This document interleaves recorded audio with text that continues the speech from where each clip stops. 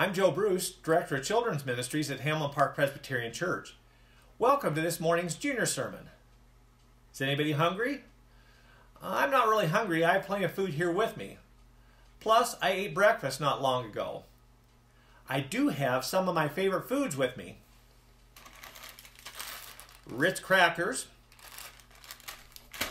my all-time favorite, peanut butter,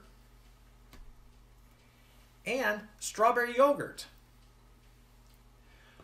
We need food to grow, to stay strong, and for our bodies to be healthy.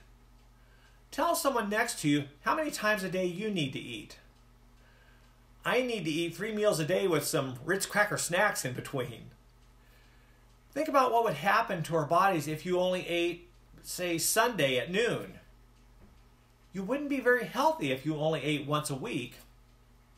As Christians, we need to be fed also. We're fed by praying, going to Sunday school, going to worship, and by reading our Bible.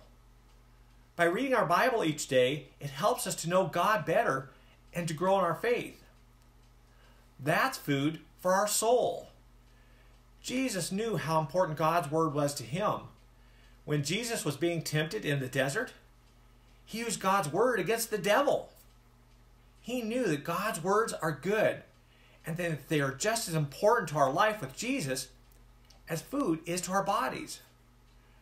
Reading our Bible every day will feed our relationship with Jesus. Let's pray. Lord God, each day you feed us in so many ways.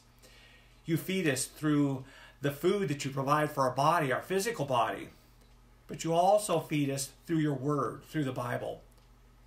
And you feed us through teachers and Sunday school teachers and through uh, pastors. Thank you for the nourishment that you bring to us.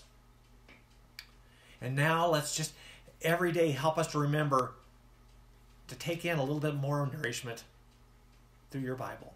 In your name we pray. Amen. All right. Take care. We'll see you later.